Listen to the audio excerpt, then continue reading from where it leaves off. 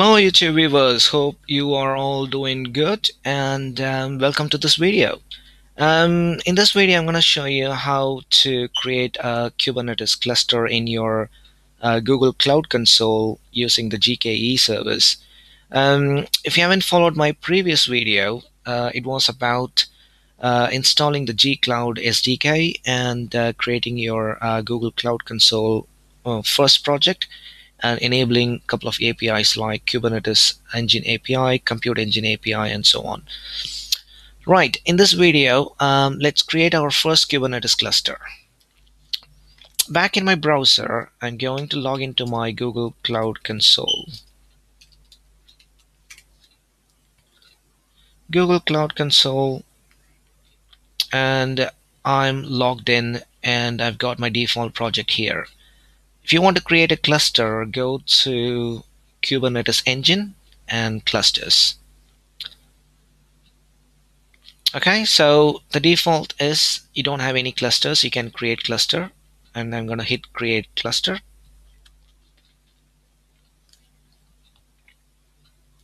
Um, standard cluster template, okay, cluster name, quick demo. So that's the cluster. Uh, that's the uh, cluster name. Zonal or regional. If you click the little um, help icon here, a regional cluster provides a single static endpoint, uh, enabling you to access the cluster's control plane regardless of any outage or downtime or individual zone. That's okay. This is just for a quick demo. Um, zone. I'm going to select Europe West uh, 1C uh, master version, if you look at here, there are lots of uh, um, Kubernetes version, but the default you get is 1.10.9. Uh, the highest you can get is 1.11.6, but in all my previous videos, um, when I installed the KubeADM, uh, it installed uh, Kubernetes version 1.13.2. I think that's the latest one but the default you get is 110.9 I'm gonna stick with the default one here. Node pools. How many nodes do you want to um, assign and what's the type of uh, compute instance um, you're gonna create? Okay um, one CPU I'm gonna say micro instance not uh, major one with 0.6 gig of memory. A number of nodes i think the minimum number of nodes is three. If you try to create one it says the total number of nodes in the cluster must be at least three when all the nodes um, have the same machine type f1 micro. Okay no worries. Number of nodes three uh, micro instances. Add node pool advanced options. Let's go to the advanced options availability which zone um, maintenance window anytime that's okay. Default VPC load balancing network security I'm going to leave everything to the default. Labels do you want to add labels to your nodes um, for example add label key to add to your nodes I'll just leave that to the default. Enable Kubernetes dashboard enable Istio I don't want to enable uh, the Kubernetes dashboard because this itself is a dashboard. You don't need a dashboard, separate dashboard. Okay, create. That will create a Kubernetes cluster and I haven't clicked uh, create yet. What you can also do is if you want to do it from the command line, uh, the command would be gcloud container clusters create and you can do minus minus help and that's the long list of options uh, whatever you want. Basically the cluster uh, name name of your cluster. These are all optional parameters. So the only thing you need is gcloud container clusters create and the name of the container. For example gcloud container clusters create quick demo so that will create a Kubernetes cluster with the default options, but we have changed a lot of options on uh, on the web console. Uh, we didn't want to go with the uh, the one CPU version. We wanted to go with the micro instances. So if you want to do lots of customizations, um, do minus minus help and see what options are available. And there will be some examples at the end. I believe. No? Okay. Okay, so you can play with this uh, help option or there is a command line here. If you click that one, so that's basically it. gcloud beta container project clusters create. Um, it's selecting the project as well, so we don't need that uh, object. Basically, gcloud containers cluster create and all these options. Um, zone username cluster version machine type is f1 micro image type disk type. Um, if we want to do it via command line what we need is gcloud container clusters create. Quick demo. Um, minus minus zone is west c. And uh, the only other change we made was the machine type to micro.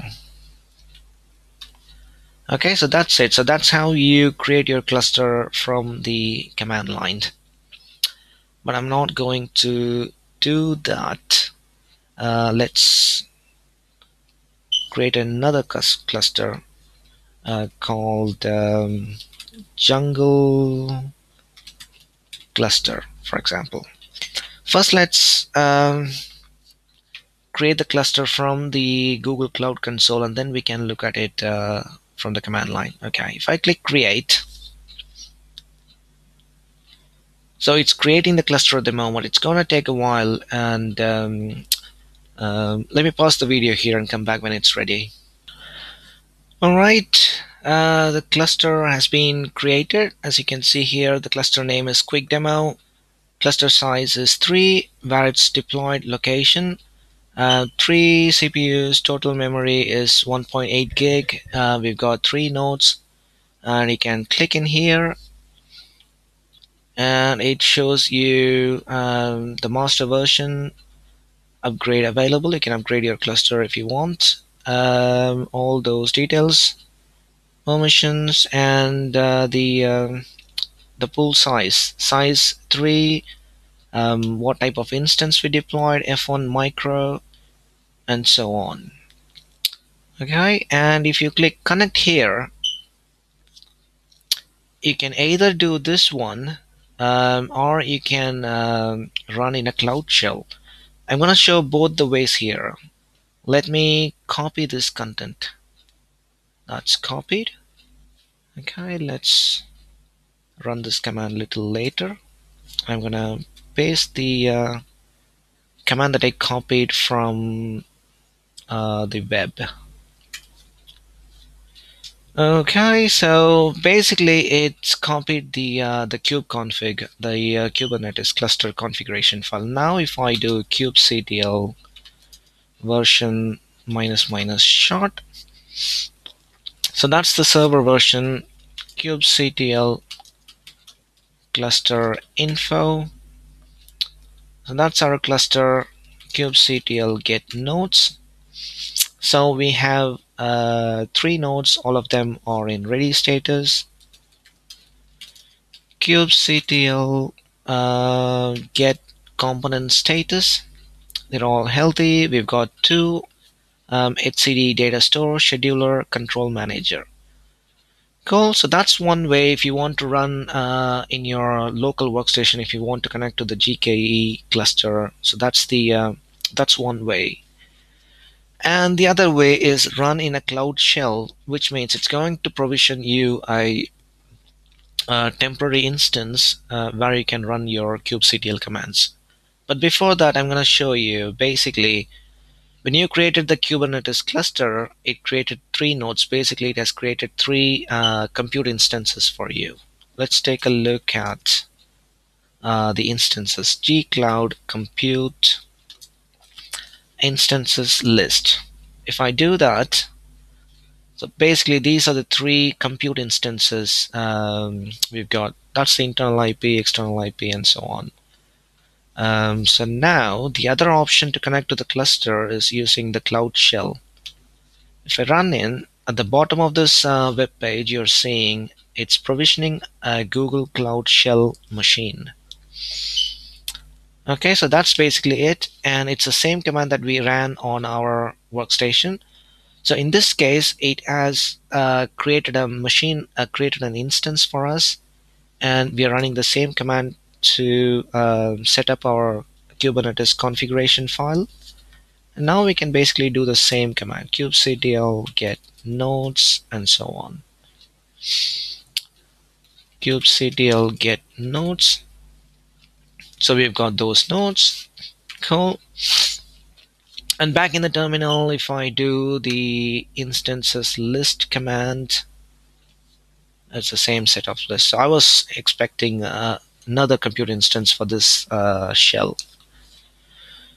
Okay, I'm gonna close this one. So that's basically it. And if you want, you can delete your cluster here or uh, delete your cluster from the command line g cloud container clusters delete quick demo. The following cluster will be deleted. Do you want to continue? Um, I would say no because I need to keep this cluster for my next video. What else we could do is we could create uh, another cluster from the command line. So if I go back here, go back to the uh, clusters, and now let's try and create a cluster from the command line. Okay, so that's the um, command line. And the cluster name is jungle dash cluster. Let's see if it works warning starting in 1.12 okay I think it seems to have worked. Creating cluster jungle cluster in Europe West 1C okay let's go ahead and refresh this page.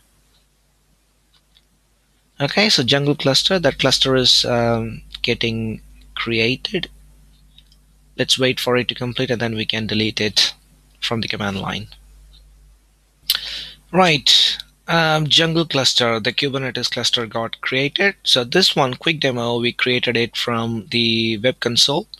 And jungle cluster we created it from the command line. So it says uh, kube config entry generated for jungle cluster. Name is jungle cluster Europe West 1C and so on. And if I do g cloud compute instances list you will see six instances okay so these three are the ones for the jungle cluster that we created from the command line. Right let's check how to delete it. G cloud container clusters list. G cloud container clusters delete jungle cluster. Do you want to continue? Yes deleting cluster jungle cluster. And back in the console if I refresh it says it's being deleted. The cluster is being deleted. Okay let's leave it to delete.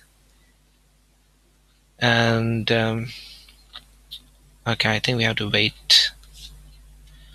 And uh, while it's getting deleted let's see still if you've got the uh, environment set up to connect to the uh, the other cluster quick demo kubectl get nodes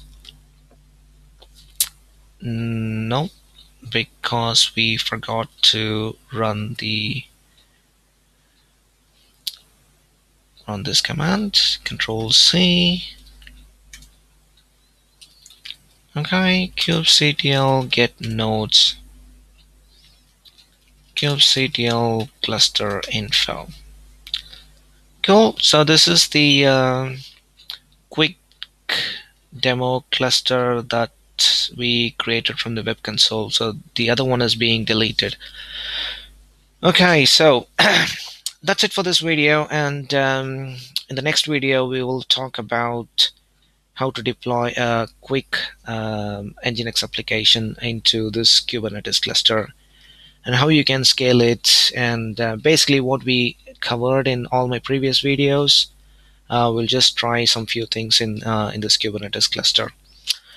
Right. Um, thank you so much for your time watching this video. I hope you found this useful. Um, if it is so, then please share it with your friends and don't forget to subscribe. And I'll see you in my next video. Bye bye.